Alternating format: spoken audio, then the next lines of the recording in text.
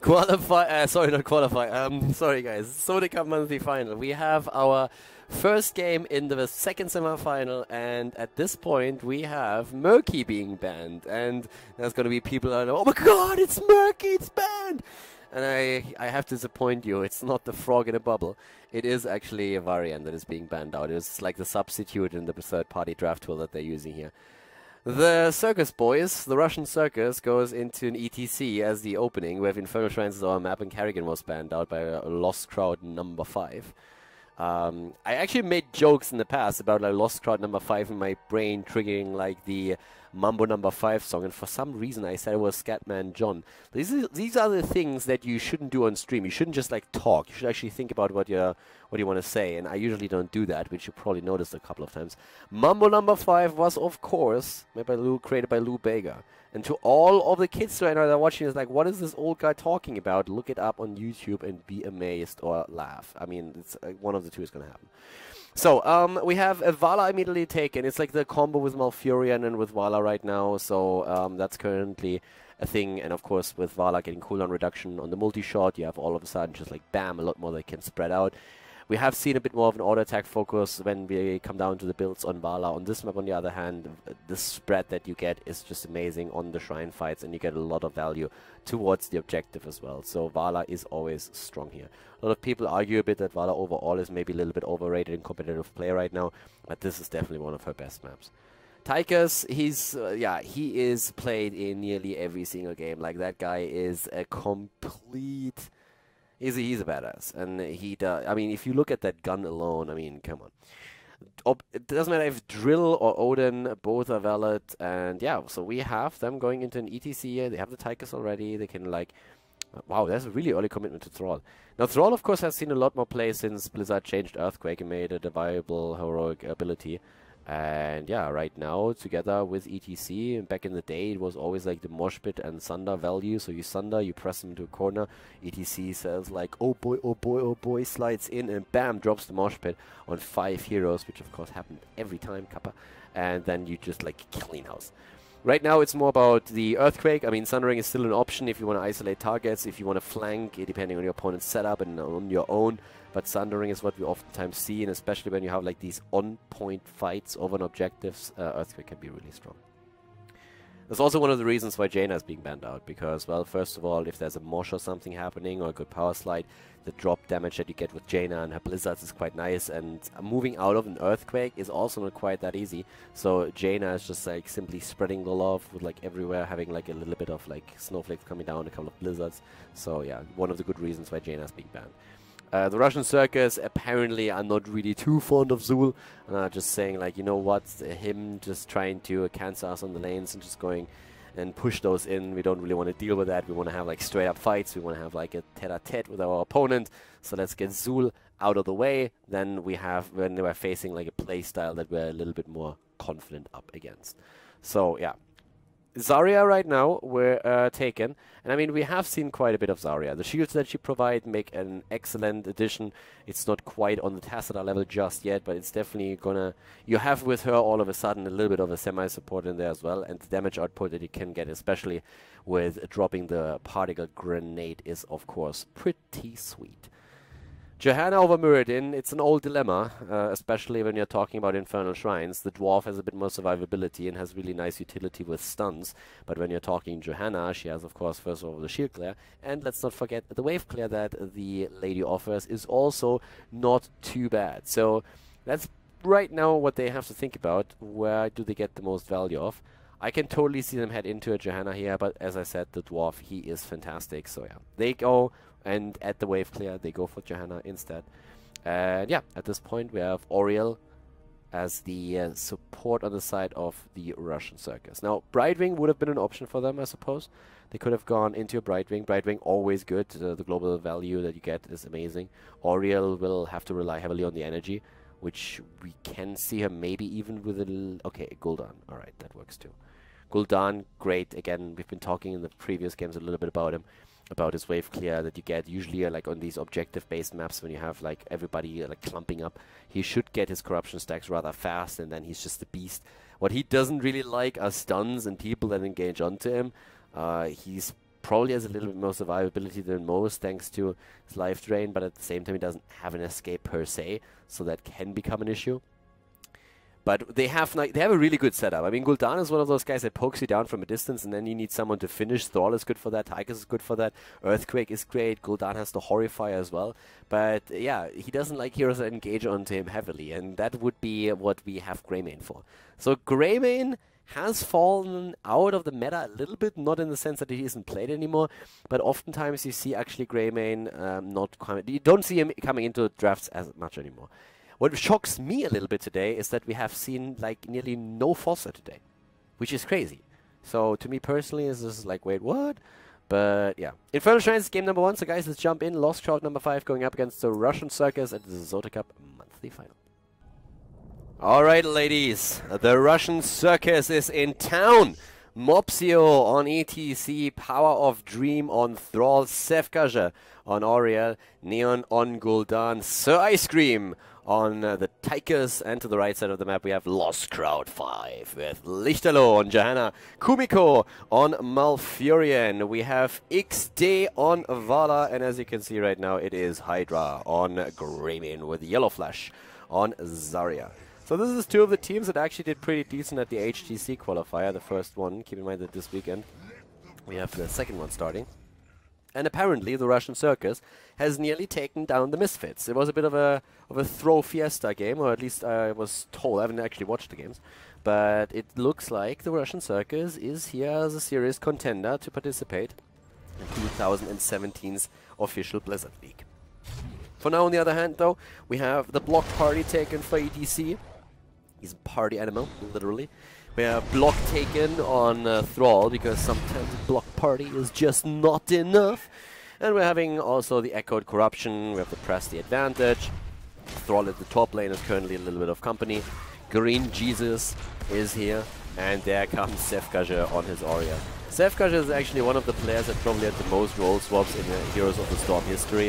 I think the only one who probably has a chance of having more role swaps than him is Jay who went through nearly all roles, but Sefkaja started off as one of the best Valla players in Alpha. He uh, was at some point frontliner, he switched to support, back to assassin, and, and now he's support again. So uh, he's really filling these roles. And, oh, Yellow Flash, look at that detainment strike. Sefka, you little dirty bastard. Do you guys see that? Moved deep in, pushed him back, and then they took him down, and he survived thanks to the energy that was created with the kill against Zarya. So one Owen kills and a rotation that is a bit atypical for the map. Not having the rotation between the bot and mid, but between mid and top now happening since there was a lot of pressure on Thrall, who uh, had to deal with three heroes. Which also means that Neon, life draining the hell out of uh, one of the minions, is also not really getting uh, the stacks that he wants to. AKA, he doesn't have a single one just yet because he found himself in a solo lane and it looks like Valla did a pretty decent job dodging the corruption this far. Valla herself going into the hot pursuit and yep, there's Power of Dream oh, are now moving in as well. So my little girl, by the way, she turned 20 just recently, finally level 20. I must say I didn't get a lot of chance to play Valla, She was 19 for way too long, but finally she's grown up. She grew up so fast. And yeah, so I was pretty happy. A little bit of Valla play. She's back in the meta. I have a good excuse to play my girl again. That's awesome. So, we have the Fido, the first of the Punishers up at the top lane, with both of the teams being on level 4. And that means the heavy burden. And the way that Sefkaja has been trying to make plays with the Tainment Strike, he's so far doing pretty well. Talking about plays, there's the slide, there's the stun, and goodbye Johanna. Was nice knowing you, good job. So she's out. And that is starting to become a little bit worrisome, to be quite frank, for the team here. Safeguard is still with the energy. They have complete control over the shrine. It's going to be a punisher for them, for sure. And in the mid lane, we have a bit of pressure play by Hydra and XD, who's currently just simply trying to get the experience. And that is going to yeah, cost them the wall at the top.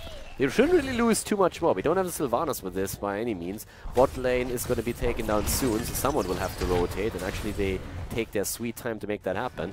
But there's by now finally Neon here. Takes a long way. Yeah, very smart move. And Corruption does eight, five stacks so far. There's the root. Mopsio is there. And no slide, no push just yet. The two of them have to actually back off for now, but the Fel Flames That's just barreling through, dishing out a bit more damage. As to the top, we are seeing the Punisher nearly taken out. But there is a lot more that has fallen uh, besides the wall. We have the tower also eliminated, and it should at least cost them the fountain, if not more, because a wave just appears. And that means they can just put more pressure onto the fort itself. So get the fountain low, that would be great. And there's already Iron Skin popped on the Johanna, which makes her, of course, a lot more vulnerable and they might not get the fort just yet, but it is so low that it shouldn't be an issue. And actually, they take, they see it through. They go for it. So Ice Cream takes it down, and that will eventually now also take down the fountain. But they stayed a bit too long. Yeah, they stayed actually like way too long. Okay, so they got a little bit too greedy here, and all of a sudden, with a rotation of five heroes to the top lane, they lose one of their heroes. So the problem is for XD that that was totally not worth it. Like, they rotated with 5 heroes to the top lane, they got one kill, which doesn't do a lot for you if your opponent still has heroes on the lane that can take the experience. They lost the fort, so they came too late for that too. Now they have lost experience in the mid lane, they have still a problem at the bot lane, namely Gul'dan, the Orc of Orcs, and in this case, he could just also drop another tower. So with the turret gone here, this is a massive issue right now. They are falling way too far behind. This is a bit of a problem. Um, alright. So, there we have Kumiko, Hydra, and let's find out. Top lane, Yellow Flash is taking over. How much did they actually lose down here? Okay, the well is still there. They still have the fountain. So they could actually drop the fountain with the next uh, before the next Punisher appears if they can push through the mid lane a little bit. So once again, if you take fountains down and you still have your own, you get more lane sustain during the fights if you are going for the Punisher for the objective. I mean, you of course need to back as 5 usually, try to tap at the fountain real quickly and then you move back in. But if you have the fountain over your opponent, you can get a bit of an edge there. And right now, we have in the mid lane the Shrine spawning again, so uh, they could try and make a bit of a play for the fountain and snipe it, but in this case they actually don't do it. So right now everybody is just like completely going straight for the shrine, trying to uh, get the 10 level 10 advantage. I mean, there's no contestation happening since level 10 is so close to the Russian circus that the heroic ability would give them such a massive edge in the team fight that, uh, yeah, like Lost Crowd 5 can't just simply they, they, they cannot simply like risk this this is work. Uh, by the way called uh, like Lost Crowd 5 not 54 I'm not quite sure how that 4 got into that overlay but I uh, yeah. I corrected that real quickly. So we have Stage Dive, we have also the Earthquake, we are seeing at the same time the Aegis again, Horrify, and the Drill over Odin. And this is going to be Punisher number two, and that's a Mortar Punisher. So with the abilities, we have another big push coming through. Valla, by the way, went into the Death Dealer, so didn't go for Arsenal. No, there's an Isolation, and oh, oh, that Punisher wanted a piece of Valla as well. You see that? He gets horrified, pushed in, and then is basically just like, I got this. Yeah, I'm not so sure about those ults just now, but it's enough. Okay, Hydra nearly falling, they get the kill against Zarya. That looked very much like the Earthquake was way too far out, but to be honest, that's still it. So it was close call, but they are able to get a second kill in, and that means that the Punisher is going in. There's the stun! Oh, and Valla with a save. Rain of Vengeance dropped again a double kill. And the Russian Circus lose two heroes, move back, but they got the entire wall. As long as they save these boys, it should be fine. But yeah, they lose a couple of heroes because sometimes they overstay their welcome a little bit, but overall I really like the aggression that is coming out of them. It was a bit of a clutch moment that we saw there. Neon doesn't really get the stacking process going like he wants to. 14 stacks at 7.5 minutes in. That's not really where you want to be with Gul'dan at this point in the game. Then again, to be quite fair, I mean, we didn't really see too many team fights that he was involved in just yet, so he didn't have an opportunity to stack too much. We were talking Zarya, by the way. We're seeing her at bot lane right now. We have a Demolition's Expert plus the pinpoint accuracy. So the same times the AD goes for. But the speed barrier in her case right now for the added utility with the movement speed. Great moves here by Valla. Good job, XD doing well and dropping ETC right now. Mopsy has to be careful on the hero. Like he died quite frequently and was a bit far out in this case. So they isolate him. And they are far ahead, but it's not like you can just simply throw heroes away like this. So Valla, it was good reaction though on the side of the red team. Was like no doubt about that. Lost Crowd 5 is starting to try and press their small advantage a little bit. They're of course trying to at least fight on even talents in the next battle over a Punisher. And that means they have to try and go for 13 because it's going to drop any moment now for the opponent. So just clear a few waves, try to get the experience in, and make that work. Uh, at the bottom of the map, We're having, uh, at this point, Lichterloh and Yellow Flash, together with the XD just roaming at 5. There's not really too much to do, at least, for now. I mean, there's only one camp that's there, and they're a little bit hesitant of moving in for that. So they actually see so Ice Cream zoning them out, so that's going to be a camp against them. The 13 talent is also in play, and after we've seen the Bursting Light with the cooldown reduction for Auriel, we have the Blinding Flash now taken, Thrall even committing on 13 onto the Spell Shield, which I didn't really think he would go for. I still expected him to go for Giant Killer and take the Tempest Fury, but instead he goes for the Spell Shield, tries to play this a little bit safer and have the survivability. That's the stuff is in as well, and there's the 13 versus 13. Johanna with the Burning Rage, ETC, there's the stage dive. Oh, a nice damage against Neon, actually. Really well done. Good job by Lost Crowd 5, but they still have to fight with the drill that they finally take down. But the engagement with Earthquake was not as successful as the blue team was hoping for. So Russian Circus they have to be cautious now. They are way ahead when it comes to the minion stacks, but they don't have it just yet, so they need to poke a little bit more. They have the tools with the Chain Lightning, with Corruption, and also with the Grenade, of course. But now it's 31 against 30. Gul'dan is in a bit of trouble. Greymane jumps on Mopsio. Mopsio slides right into the wave, and there is the kill against ETC. Very well controlled, saving Johanna. Can they completely save her? Oh, that was so close! One Chain Lightning and she would have died. This could have actually triggered against... Oh my god! Oh, Auriel! okay, this is starting to get bad. Oh, wow. That's a quad kill against them, even though they were so far ahead when it came to the objective. And now we're seeing the bot lane pressured, pressured hard. And that is getting nasty. That's a keep. That's a keep right there. Well, maybe they can bait the Punisher into the middle and somehow save the key, but it's not going to be easy. ETC is doing exactly that, but this is getting a bit dirty, yeah. The keep is gone. Started so well for them. Started so well for the Circus Boys, but it is right now the show of Lost Crowd 5. They won the last two team fights. Actually, like they won one big team fight. In the, the other fights, they basically just exploited that we saw the opponent going a little bit too deep. So, yeah. 16 talents. And like the situation is basically reversed. Right now we're seeing the Russian Circus being the ones who were starting to fall behind in experience and therefore also in uh, talents. And they have to try and catch up in time so that they can fight one even talents. And to uh, to be absolutely honest, I don't see that happening. Not for the next Punisher. They need an entire level. Level 16 is a big deal. If you all of a sudden have the imposing presence, the frost shot alone, the utility that you get out of that, the eager wolf together with the on the prowl tag, and by the way the wolf heart, so the build on Greymane is also a little bit special in the sense that we don't have a full focus on cocktail here in the first uh, three talents. Uh, we're still seeing with the stacking on uh, level 7, but overall, at least here on the prowl, eager wolf going for that. So yeah, try to just like go full auto attacks on this. With Zarya, we have the cleansing shield now as well, which is of course also pretty awesome. And this setup is nasty. They get, actually get 16. So I underestimated the uh, ability to gain the experience here a bit on the side of the Russian Circus. They will get level 16. They have ETC still on the other side of the map. Can always stage dive in. So, hmm, let's see. Up to the top lane, five man is moving back, is trying to get the camp now. Can get this pushing, but there's still the fort up top, so even if it's not immediately being deep pushed, the fort alone is over. Okay, Reservoir of Hope, that's another big one that we have, but of course it has to come into play first.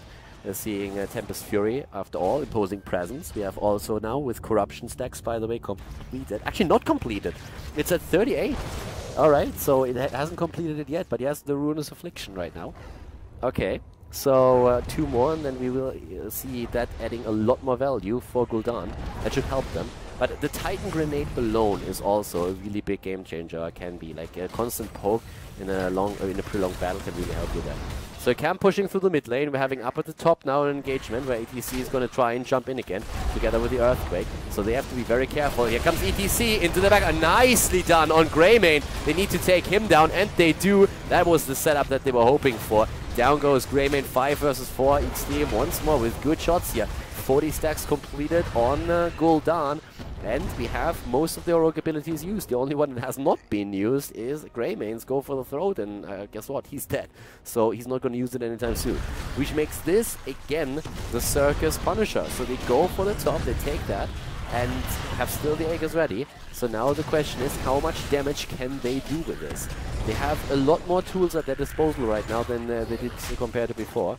Reservoir of Hope with another bonus storage of 150.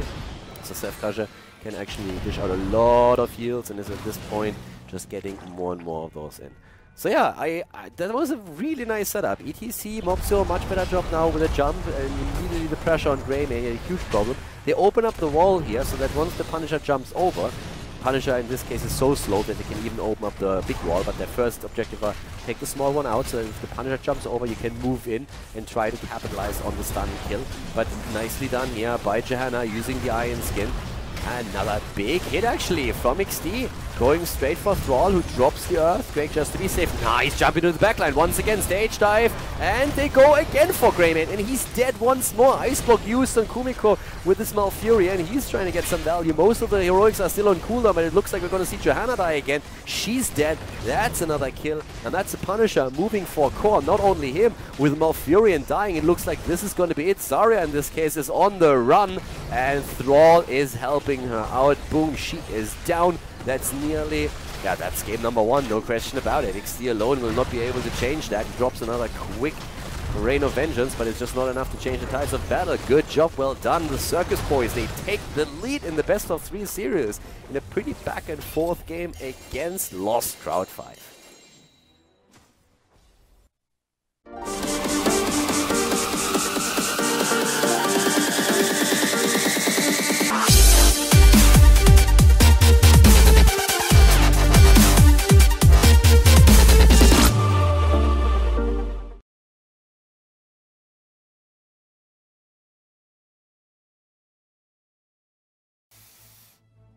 Uh, yeah, so I suppose that Cirque means uh, circus, so it's the Russian circus, as the shameless cookie subscribes. It's a cookie without shame, because it's so delicious. Uh, we have Falstad being banned. Now, I'm really starting to get a little bit salty today. I like my chicken, I like my bird, and why the hell do I not get any Falstad today? Like, it doesn't get picked, and then in the one game where I'm pretty sure it would get picked all of a sudden, look at this, we banned out. Give me my chicken. Um, we have Tacita banned out, so no shenanigans with like Tracer, no melee assassin shenanigans either. And Lost Crowd 5 picks the ETC and takes him right away. So with ETC taken, we could see... Actually, like, what could we see? We could actually see some Dehaka now, finally. We haven't seen any Dehaka in these games either, but Dragonshire is a good map for Dehaka. I don't think it's necessarily a super early pick here. First of all, we're starting with a couple of standards. The oldies but goldies. Give me that Malfurion. Give me a Li Ming. Give me a Valla. Give me some damage there. Or a tank, of course. Oh, yeah. Okay, okay. I take it back. I take it back. The Dehaka is early priority after all. Makes me happy. I thought he would maybe get banned out. That would have been... Sad face. Tychus. Okay, so Tychus as a pick. Again, Valla and Li Ming can also like make an appearance here. Especially with Malfurion on the board, I would be highly surprised if the Russian Circus wouldn't go for at least one of the two. So that you can capitalize a little bit on the cooldown reduction, on the Innervate in general, drop a little bit of mana into those hands and get that done. Another hero that we have to watch out for is, of course, a Brightwing. So, um... Brightwing on the map with global presence again. Tychus is an easy. Actually, I think the reason why they waited so long to confirm Tychus is simply they wanted to buy time for themselves. Tychus is a no-brainer. You don't actually like go for Tychus and think about him, and then you're like, do I pick him? Do I not pick him? If you want to play Tychus and you have a Tychus player, you you know that. So they wanted to uh, have a little bit more time to think about this, because this is a Tyrande, and they were thinking about ETC Tyrande apparently. So now the Jaina comes into play. So it's always a question: Do we go for the stun into stun into burst them away with a quick blizzard, or do we do something else? So it's like the toss-up because they are very well aware that we could see a ban right now. Jetstream Artorias. That sounds pretty cool, even though I don't know what it means. So thanks. There's the Brightwing ban. Okay, Tyrande's still there. They were thinking about her. They might still pick her. And Lost Crowd 5. What do they ban? What do we ban here? Uh, Johanna, well, I could ban a Muradin too, I suppose. I could ban Muradin, could ban Johanna, could ban a Valla, could ban a Li Ming.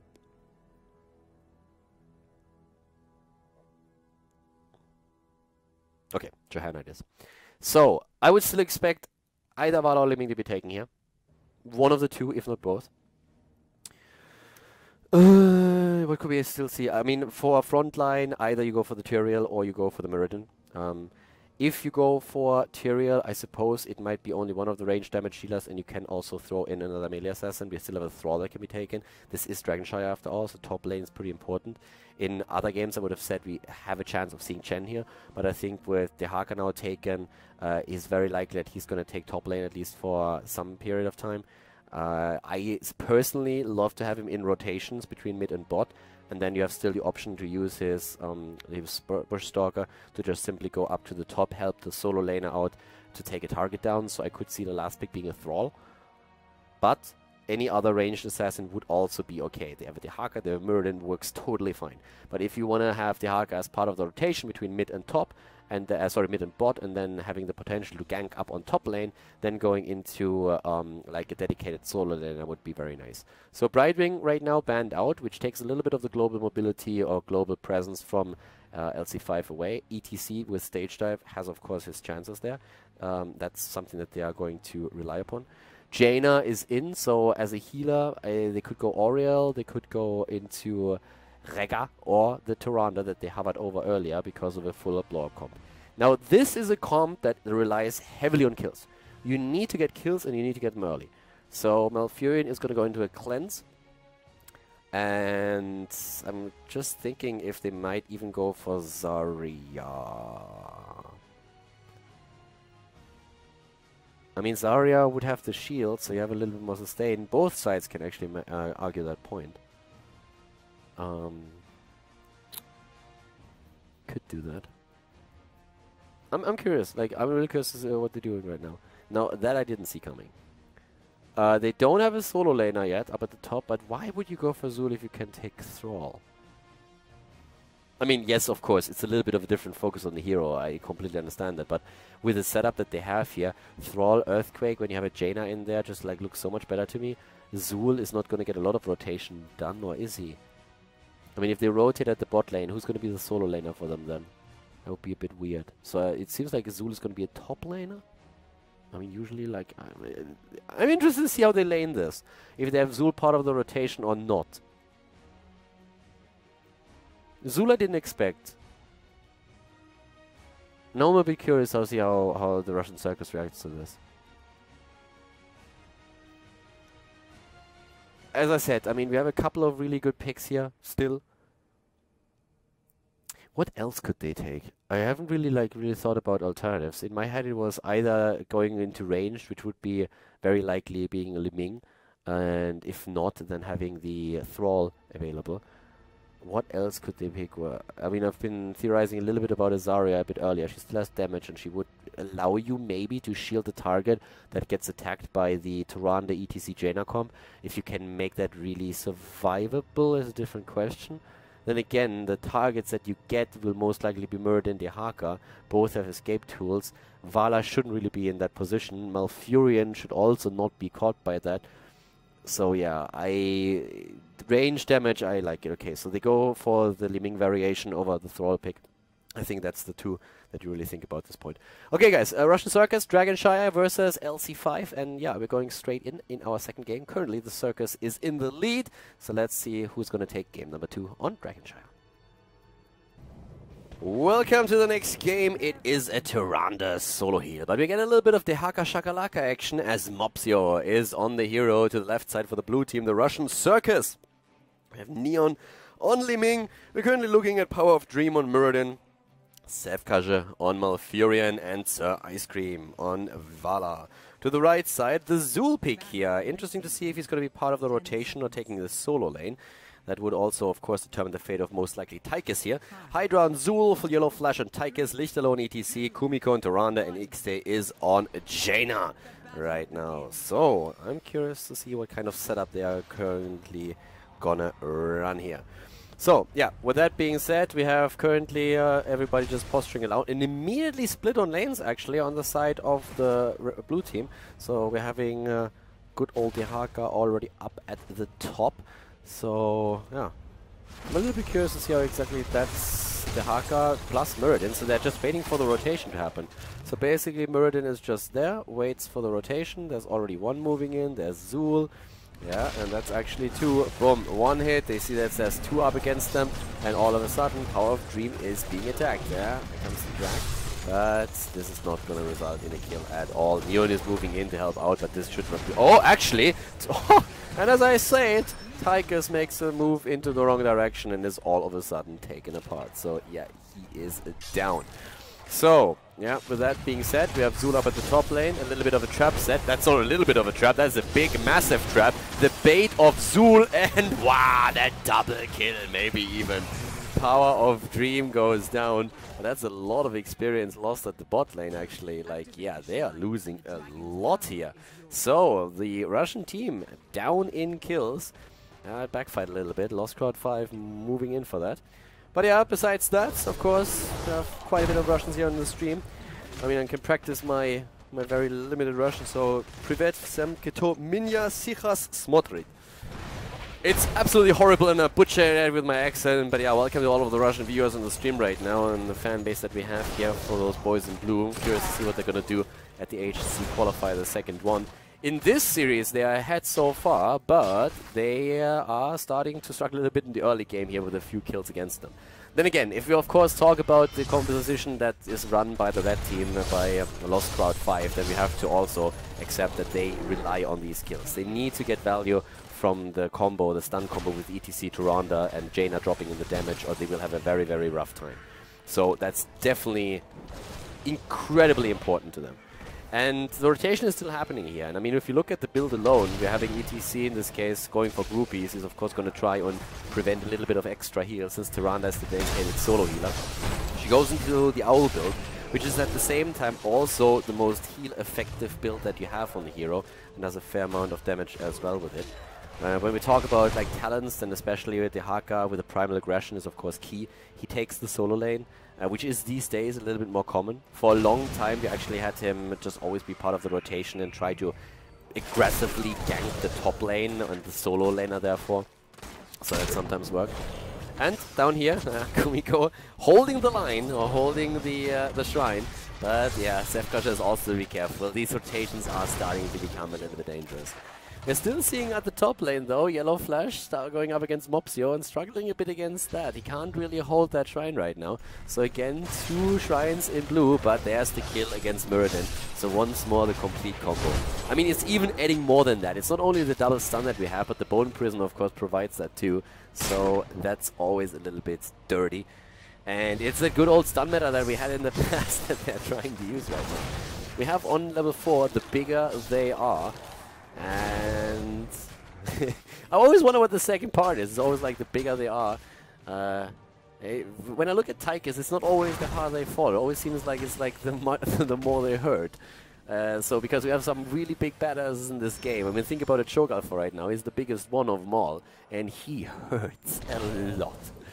Level 6 on both sides. Level 7 is actually uh, jumping in for both of the teams. We're going to see the quick talent choice. And yes, let's see if we have that cleanse ready finally on uh, Malfurion, because he is going to need it, I feel. Already the Death Dealer on Valla for the auto attack damage that you get in. We have Calamity chosen as well, and there's that cleanse for Sefkaja. We have two of the shrines under the control of the red team, which is finally taken away as Dehaka has reclaimed the top. And after the cleanse, we also have now battle momentum taken, or the battle momentum variation, the lunar momentum on uh. So full cooldown reduction. It's all about the cooldown reduction here. Going for Pierce after Empower. You want to cooldown reduce whatever you can so that you have your heroic ability a little bit faster accessible.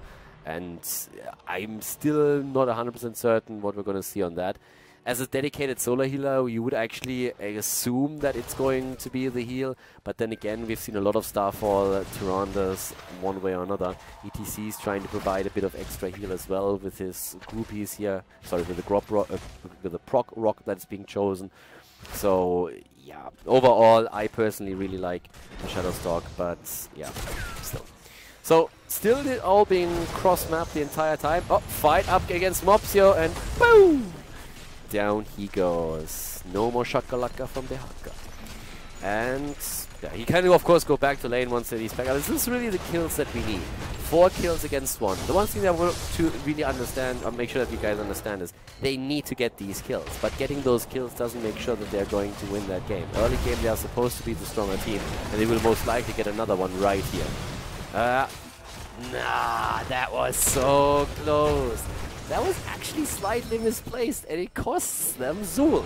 Every kill against them is really bad for Lost Crowd 5. They need to snowball that early game. Because in the end, what's going to happen is that the lack of heal compared to what Malfurion has to offer is going to become a massive issue in the later stage of the game and already starting in the mid game. So they need to do something about that. And so far, they haven't really had an opportunity to do that.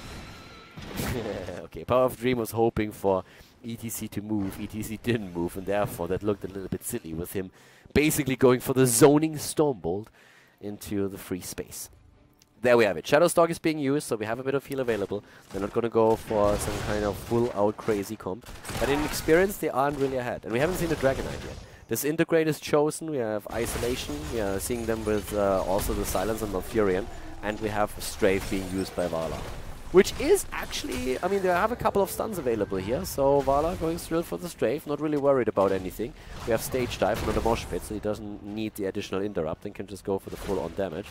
Mopsy up the top lane with the primal aggression is just like getting a few more wave clears in, but he's to go for that shrine. And we have a camp being taken. Sneaky, sneaky. Going for the camp down here. Well, you should still take it, guys. Uh, yeah, I don't know about that. Okay, so there they take it. And Zul, you went the wrong way, dude. Wow, dropping the silence as well. ETC jumps in. There comes the strafe. Down he goes. It's a double kill since Jaina has fallen as well. And Lichterloh is not out of this yet. So once more Power of Three moves in. Lichterloh is trying to see if maybe in the other direction there lies hope and freedom. But that's not the case. So he falls and that should be a Dragon Knight. But up to the top lane, we have a camp pushing. Someone needs to deal with that. Whereas our Dehaka, when, he, when we need him, he needs to shakalaka his way up to the top lane. Well, they're going to lose quite a bit there. Mopsio goes back home first. I'm not sure why. He didn't really need a whole lot of mana or life. So yeah, walks all the way. Maybe that was the shorter distance, not quite sure. But I know that Power of Dream has the Dragon Knight right now, and he's probably going to be pretty happy about that. From a little ugly dwarf, he turns into Alright, he's still ugly. It's an ugly Dragon Knight right now, but man, he has a battle axe, alright? He has a badass shield, he has wings, and he has a massive, massive tail. And Muradin, as usually every... Uh, if everything is just like proportional on Muradin, then he is not really used to handling all that equipment here. But he's moving in and starts to take down the well, buying a little bit of time for the bot lane to push since there were three heroes against him a little bit. But yeah, that fierce battle axe, that's something that Muradin really enjoys. It's like a caterpillar that transformed into a beautiful butterfly or dragon. Has wings too, same thing. So top lane actually was saved by the way, just look at that. Barely. But down here we're now seeing again, he's just punting. He's training for the NFL right now. He's just like trying to make sure that he gets a little bit of practice in. He's just like, uh, getting my punt practice in here today. We have finally level 13 talents for them, by the way. That means Ferocious Stalker time. A bit of a trap is set up here too. And I want. Oh, Komiko, if you walk down there, you are screwed. It's XD, and there's Yellow Flash. And yeah, that's gonna hurt. Ah! In your face! Whoa! The silence range. Oh god, Sefka just there, was like, yeah, sweet dreams, baby. Twilight Dream, and down they go. The root already on the ground. Oh god, that was brutal.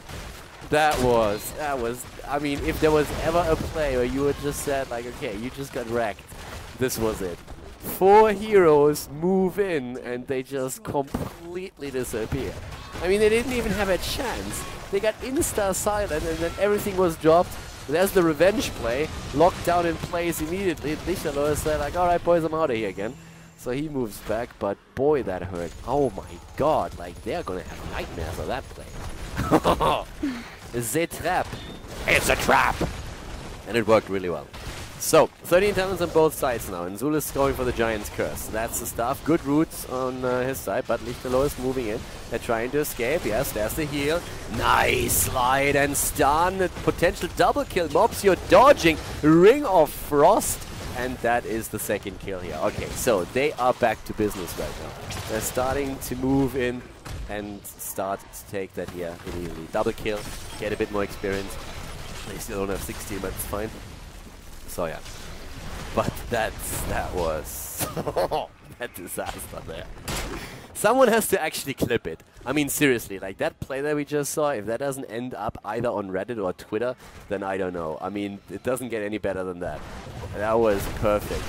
If that would have been at HGC, I'm sure the Heroes Esports Twitter would have been all over that play. Because, I mean, this is like, this is a perfect execution of a good idea. Right there one of those things where it works out. When I would try something like that, ETC would just like casually slide in and mosh pit all four of us. That's what usually would happen. But this, this was art. So, at this point, 16 talents. We have uh, Stone Form actually taken. Interesting. Not your run-of-the-mill level 16 talent, but with all that drop damage on a single target and vulnerable in play, apparently Muradin is just saying, you know what guys, I need a little bit more survivability. Let's go old school here, go for a Stone Form. Oh, there is... That, that could have been a stun with a heavy impact, but no. They are going for the root again. And the Ring of Frost! Oh, Muradin! The owl to the face. The Dragon Knight is still alive for another 30 seconds. A bit of a small punt there. Tyrande is down. It's two for one though. And ETC is in the Dragon Knight as we have Yellow Flash in the back. Malfurion is getting wrecked. This game actually turns around pretty nastily against the Russian Circus. They're starting to lose that lead and they're losing it fast.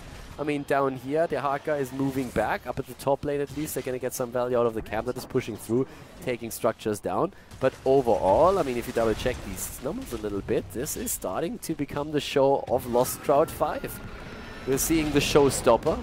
We're having now Ranger taken, so starting to complete really the build on Tyrande uh, with the cooldown reduction and giving her a little bit more damage on top of it. The Northern Exposure A2 has a lot of vulnerable talents in play right now. Amplified damage, Northern Exposure, you also have the trade on Tyrande's side. So this is starting to hurt a lot, I might add.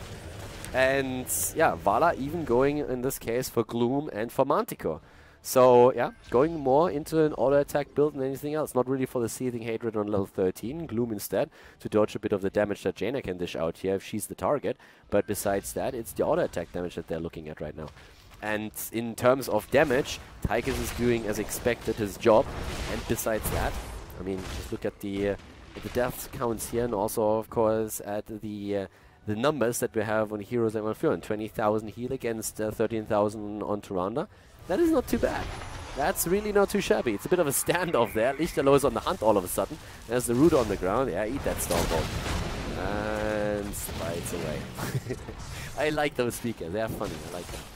Uh, the amplifiers. They're actually like pretty cool. They're really well done.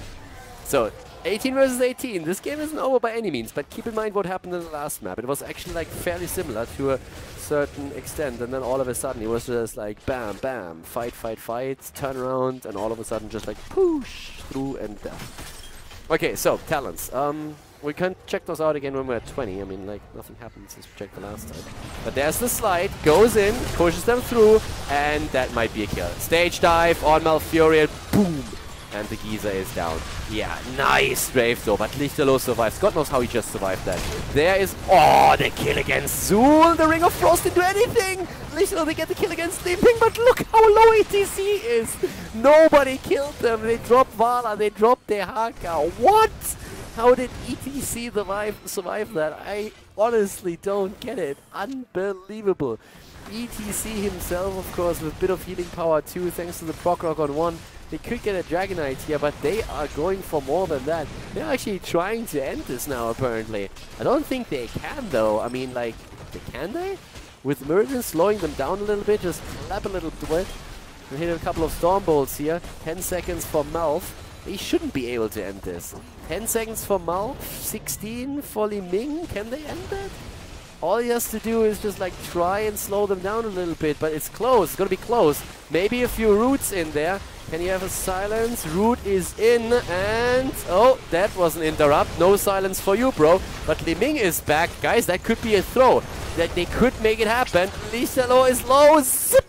There comes Li Ming value. Resets!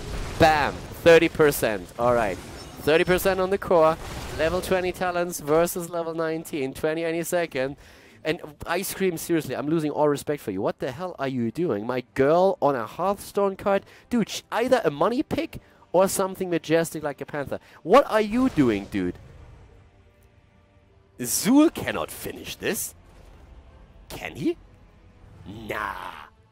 You can't tell me that Zul is able to drop that core, right?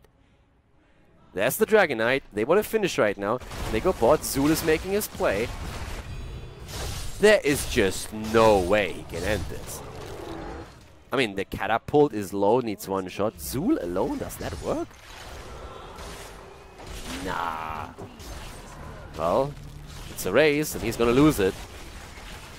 Is he? Yeah, he is. Yeah, he is. Zul is gonna lose that. Is is yeah. okay. So Zul is actually closer than I thought, but oh, six percent. okay, a 2-0 victory for the Russian Circus. GG.